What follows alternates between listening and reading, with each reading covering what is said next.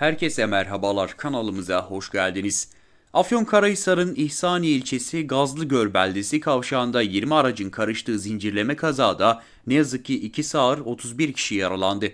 Kazanın yoğun sisten dolayı görüş mesafesinin düşmesi ve gizli buzlanma nedeniyle meydana geldiği bildirildi.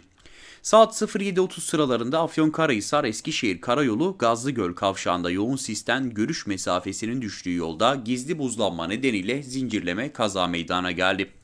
Yoldaki 200 metrelik alandaki kazada midibüs, yolcu otobüsü ve otomobil ile hafif ticari araç dahil 20 araç çarpıştı. Yaylabağ Belde Belediyesi'ne ait yolcu taşımacılığı yapan midibüsün devrildiği kazada 2 ağır 31 kişi yaralandı. Yaralılardan 10'u Afyonkarahisar Devlet Hastanesi ile farklı hastanelere götürüldü. Yolda güvenlik önlemi alan jandarma sürücüleri durdurup kaza ve buzlanma uyarısında bulundu.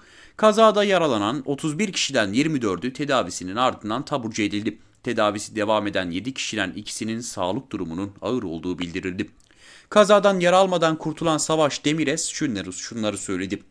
Yolun gizli buzlanmasından biraz da sisten dolayı araçlar kayarak birbirine çarpmış, otobüs frene basmış, kaldırıma çarpıyor ve devriliyor dedi. Kazaya karışan araçların birinde bulunan Mehmet Öner ise şunları söyledi. Önde küçük iki araç birbirine temas etmiş, biri bariyere vurmuş. Biz durduk, yanımızda da bir araba durdu ama arkadan gelen otobüs çok hızlıydı ve yerler çok buzlu olduğu için duramayıp bize çarptı. 4-5 aracın birbirine çarpmasına neden oldu. Bizde yaralı yok diye konuştu. İstanbul'dan Antalya'ya giden otobüsteki yolculardan Saffet Güngör de otobüsteydik fark edemedik kaza oldu. İndik 3 araba birbirine çarpmış biz dördüncüsüydük dedi. Hastaneye götürülen yaralılardan Ali İhsan Taşpınar şunları söyledi. İki aracın kaza yaptığını gördük. Yavaşladığımız sırada arkamızdan otobüs çarptı. Sonrasında yayla bağı aracı bariyere vurmuş yan yatmış. Kardeşim o araçtaydı. Ayağı sıkışmış çıkarmışlar. Şu an ikimizin de durumu iyi ifadelerini kullandı. Biz de Hayat ve Eğitim kanalı olarak yaralanan bütün vatandaşlarımıza geçmiş olsun dileklerimizi iletiyoruz.